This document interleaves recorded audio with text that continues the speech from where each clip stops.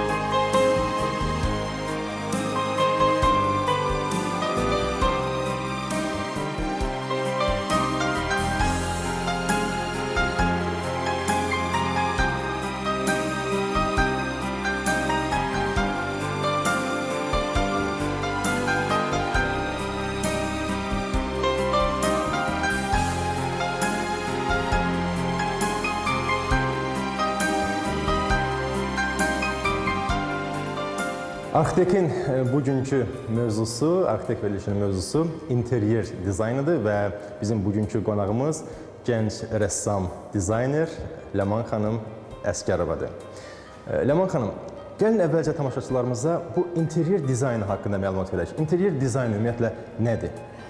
Ə, interyer dizayn ə, insanın bütün ə, tələbatları ə, evə gö evə görə olan tələbatları praktik, ergonomik, gözəllik özündə toplayır. Hı -hı. Bəs bax indi biz bu məkandayıq. Bax bu məkan haqqında gəlin danışaq. Buranın ə, dizaynı sizə məxsusdur. Ə, yeni belə deyək də hazırlanır. Ə, bir müddət tezliklə hazır olacaq. Bu uşaq bağçasıdır, eləmi? Bəli. Bəs uşaq bağçası üçün ə, interyer dizaynı tərtib edərkən əsas amillər nədir? Uşaq bağçasında ilk öncə biz uşağın ə, psixoloji ə, sağlamlığı üçün hər şeyi fikirləşməliyik. Deməli, ilk növbədə ə, ekoloji təmiz materiallardan istifadə olunmalıdır, eləmi? İlk növbədə bəli, ekoloji təmiz materiallardan başqa ə, rənglər, formalar ə, uşağı uşağa psixoloji təzyiq göstərmədən seçilməlidir. Ə, lakin uşaq ə, bu formalara və rənglərə baxaraq ə, inkişaf eləməlidir. Aha. Deməli siz ə, həm də bu dizaynda bütün bu amilləri nəzərə almalısınız. Mütləq.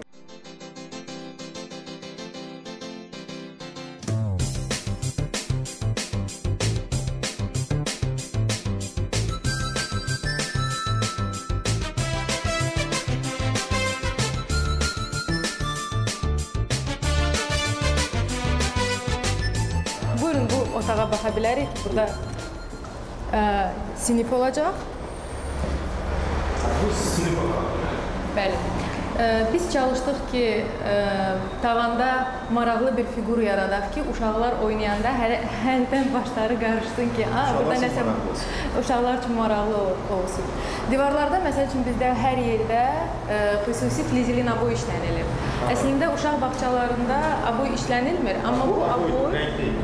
Hə, üstündə vurulub ə, Rəng. spesifik kraska, ə, emulsiya, ə, emulsiya kraska, kraska yox. Yəni sağlamlığa zərər vurmayan Ekoloji materiallar. təmiz bu xüsusən həm aboy, həm bu emulsiya uşaq ə, bağçaları üçün, məktəblər üçün istehsal olunur. Bəs e, rənglər necə seçilir?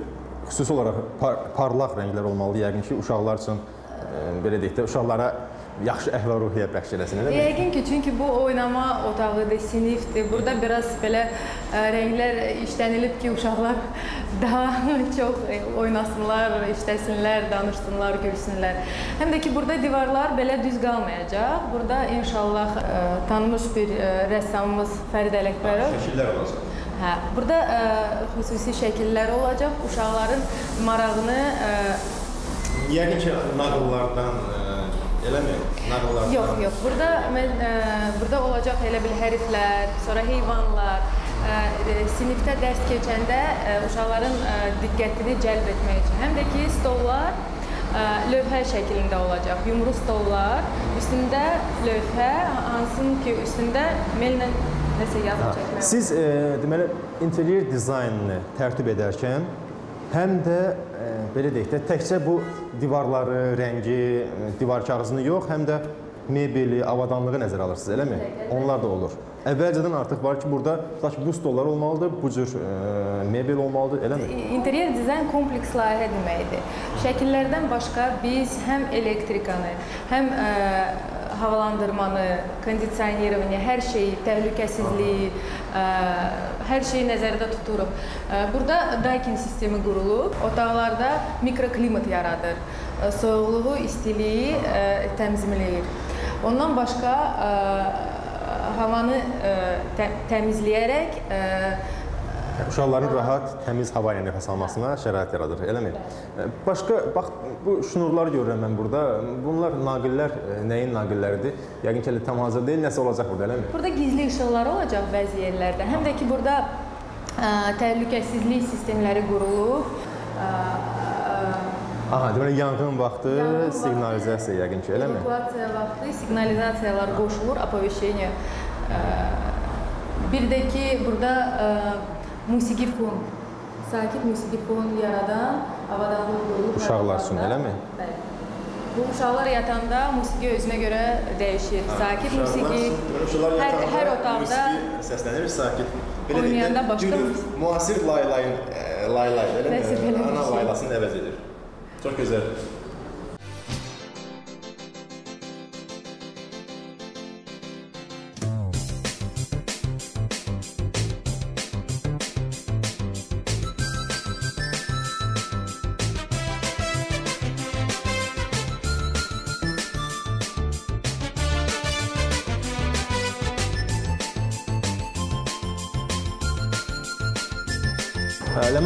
Burada idman zalıdır, eləmi uşaqlar üçün?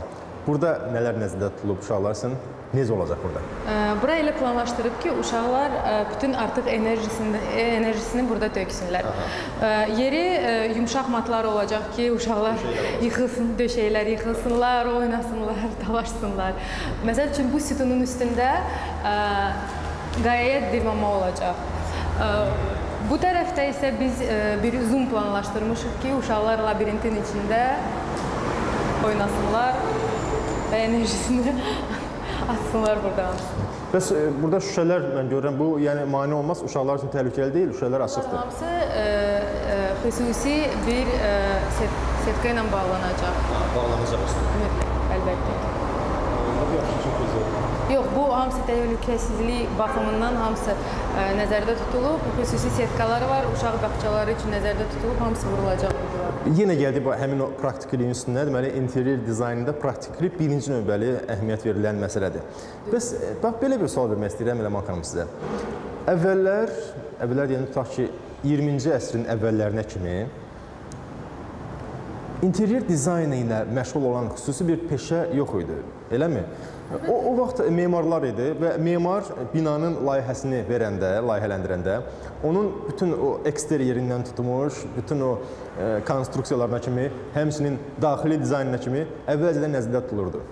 Yəni indi necə olub ki, nəyə görə tutaq ki, e, başqa bir xüsusi peşə olmalıdır ki, interyer dizaynı. Bu məhz bu daxili quruluşla ə, məşğul olsun binaların daxili interyeri ilə. İndi bugünkü gündə ki, tələbat böyükdür, ə, kadrlar artır. ə, Ona görə hər bir rəssam, hər ya, ya memar mı olsun, ya heykəltaraş mı olsun, öz ə, yolunu özü seçir. Məncə yaxşı memar olmaq üçün ə, Həm də dizayn olmaq lazımdır. Hə, yox, ə, həkim də olub gözəl memar ol, hə- həkimliyi bitirib gözəl memar da olmaq olar. Əgər ürəkdən gəlirsə, əgər ə, insanın ürəkdən gələn Yaradıcı potensialı varsa, belə deyək, elə. var. Bəs bax belə bir sual verim sizə. Müasir dövrdə bu müasir texnologiyalar, yeni texnologiyalar, internet, internet belə deyək də hamı yəni bu internet vasitəsilə girib müxtəlif dizayn nümunələrində məşğul ola bilər. Mən çox adamlar görmüşəm ki, məsələn ev alıb və yaxud evində kapital təmir eləmək istəyir və o heç e, belə deyək də dizaynerə müraciət eləmir. Girir internetdə baxır ora o qədər şəkillər var ki, seçir içindən bəyəndiyini. Bu sizə mane olur, yoxsa əksinə bəlkə xeyir olur sizə? Mən sizə deyim, hardasa bu bizə xeyir gətirir. Çünki bizdə çox vaxtı olur ki, ə, müştəri gəlib deyir ki, "Ay, mən başlamışam, mən internetdə görmüşəm, tavanı yığmışam, o uyğunlaşmadı mənim evimə. Ya mən tavanları yığdım, parketi vurdum, amma buna uyğun aboy seçə bilmirəm, çünki o şəkil böyük ev üçün nəzərdə tutulmuşdu, amma mənim evim evimin sahəsi balacadır." Bu əlbəttə ki, bizim üçün yəqin ki, hansısa tərəfdən çox bir yaxşı bir şeydir.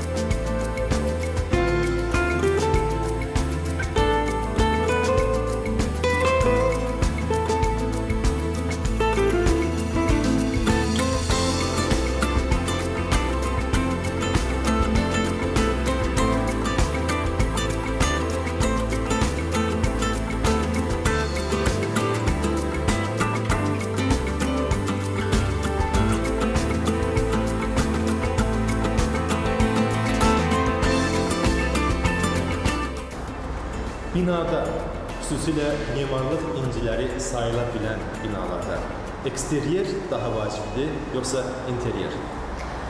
Məncə ə, bunlar tarazlaşmış olmalıdır. Çünki ə, eksteryeri gözəl olan binanın interyeri gözəl olmasa, bu binanın heç bir qiyməti olmaz. Həm plan- planlaşması da, planirovkası da gözəl olmalıdır, həm interyer dizaynı da gözəl olmalıdır. Memarlar, xüsusilə əvvəllər o memarlar ki var idi, binaların həm eksteryerini, həm interyerini layihələndirirdilər. Onlar interyerə daha çox əhəmiyyət verirdilər. Nəyə görə mənə elə gəlir? Çünki sırf belə deyək də onlar e, sifarişçi ki, bunlara pulu verirdi ki, bu binanı mənim üçün e, layihələndirin. Sifarişçi daha çox interyeri gördü. Elə deyilmi? Eksteryeri düzdür, hamı görür. Amma interyeri sifarişçi evdə oturur, daha çox interyeri görür və mənə gəlir ki, onlar daha çox əhəmiyyət verirdilər. Çünki o qədimi binalarda interyerdə xüsusi işləmələr, xüsusi içinə girəndə daha gözəl görünür binalar, nəinki xarici görünüşü. Amma təəssüf ki, deyəsən müasir binalarda buna o qədər də əhəmiyyət verilmir. İstənilən ə, təzə tikilən binanı şəhərdə götürün, baxın. Çox sadə, heç bir maraqlı detalları yoxdur. Amma içəri girəndə hər üçüncü bir mənzil super dizaynla işlə, işlənilib, super remont olunur. Onda gəlin e, elə bu mövzunun davamı olaraq bir sual verim sizə. Necə bilirsiniz, zaman keçdikcə, vaxt keçdikcə, tutaq ki, e, köhnə binalarla müqayisədə müasir binalarda həm eksteryer, yəni xarici görünüşü, həm daxili görünüşü müqayisə edildikdə daha çox hansı daha gözəldir? Yəni keçmiş binalar yoxsa müasir binalar? Mən özümə görə deyə bilərəm ki, ə, bu günə m, mənim üçün köhnə binalar daha gözəldir. 1-2 təzə tikililərdən başqa köhnə arxitektura mənim üçün daha yaxındır, daha gözəldir. Bəs şəhərdə tutaq ki, o köhnə binalardan belə deyək, klassik üslubda tikilən binalardan hansı daha çox sizin xoşunuza gəlir? Bir ən sevimli tikili var bu şəhərdə. Dom Sovet deyilirdi əvvəllər. Hökumət evi. Da, Lev Rudnev и Vladimir Munz. Bu çox monumental və çox mükəmməl bir layihədir. Razıyam sizinlə. Biz o bina haqqında artıq e, arxitek verilişində danışmışıq. O bina haqqında bir süjet işləmişik. Bina nəsə belə saray kimidir, monumentaldır, özündə çox ə, fərqli üslublar toplayıb. Mənim üçün bu çox gözəl bir Evet, möhtəşəm. nümunədir.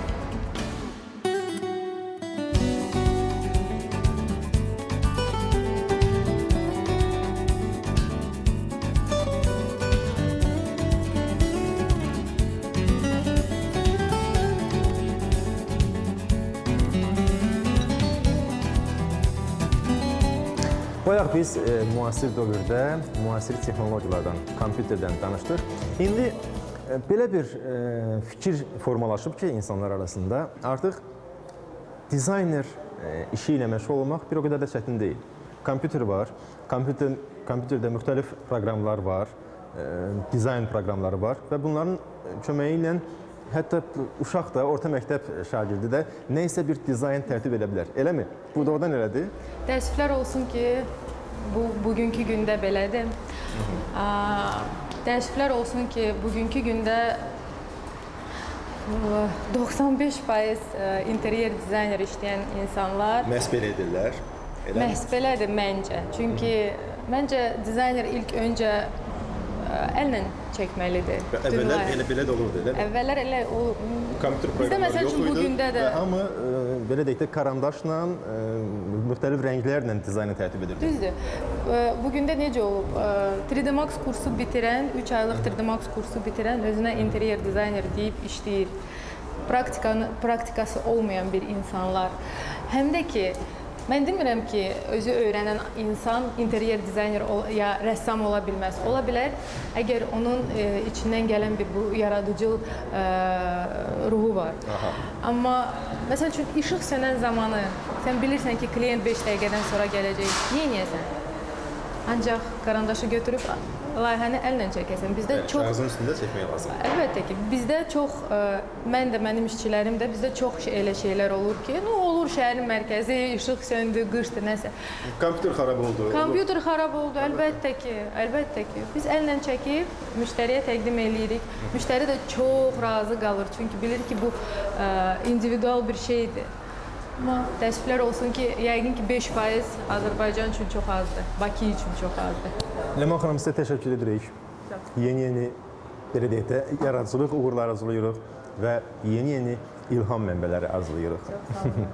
Mən də çox şad oldum bu gün bu mövzu ilə bağlı sizinlə danışmağa, təqdim elədim sizin bu layihəni. Yəqin ki bəyəndiniz. Bəyəndik. Yəqin ki tam hazır olandan sonra lap çox bəyənəcəyik. Binanın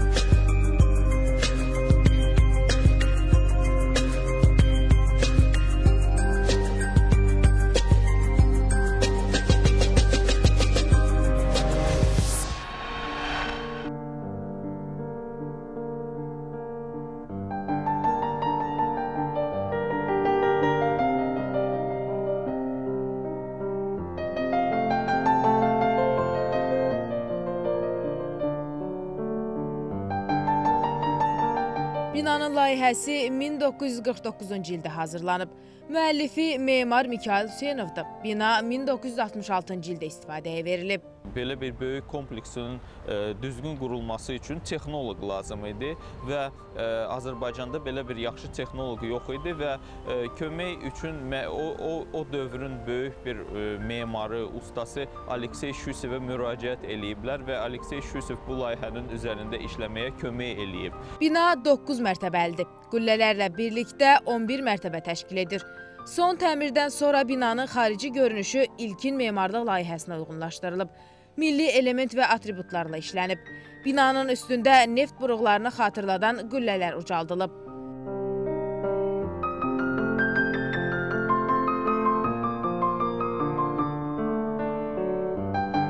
İndiyə kimi layihənin əsli e, bizim layihə institutda qalıb və layihənin fasadı da çox mürəkkəb idi. Məsələn, 11-ci mərtəbənin e, üstündə hansısa bir skulpturlu kompozisiyalarda durmalı idi. Təəssüf ki, layihə tikilən zamanı e, layihə dəyişdirildi və fasad çox e, sadələşdirdi. Biz indi də fasada binanın fasadına görə baxanda görürük çox sadə, sadə adi fasad idi.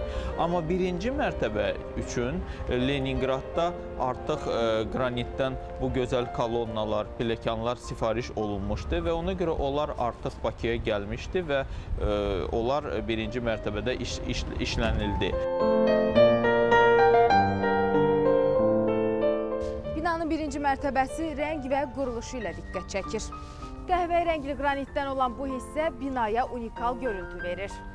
Maraqlısı isə budur ki, giriş hissəsi bu qədər fərqli işləmiş binanın üst hissəsi olduqca sadədir.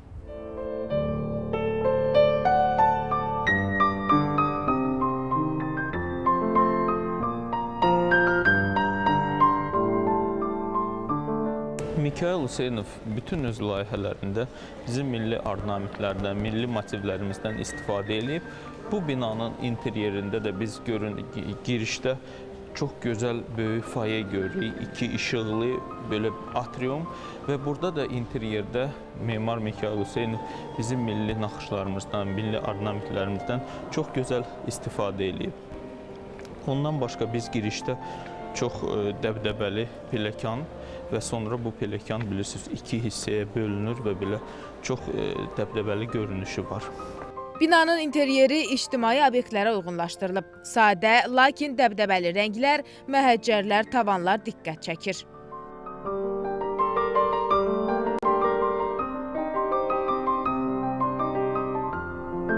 İctimai binanın interyerini çox çətindir işləmək və bilirsiniz onun öz xüsusiyyətləri var.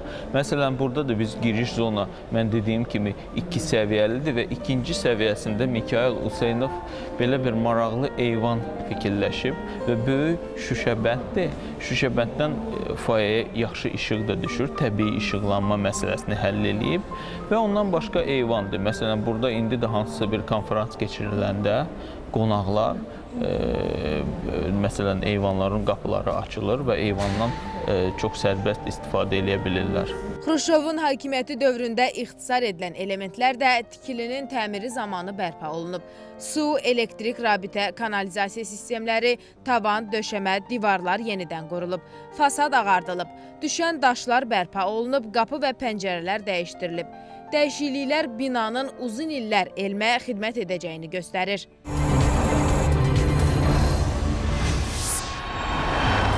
Deyirlər, daxili gözəllik xarici gözəllikdən daha vacibdir. Bunu əlbəttə daha çox insanlara şamil edirlər. Amma eyni şeyi zənnimcə binalar haqqında demək olar. Xüsusilə həmin binanın içində yaşayan insanlar üçün onun daxilən gözəl olması vacibdir. Çünki gözəllik içində yaşayan insan daxilən də gözəl olar.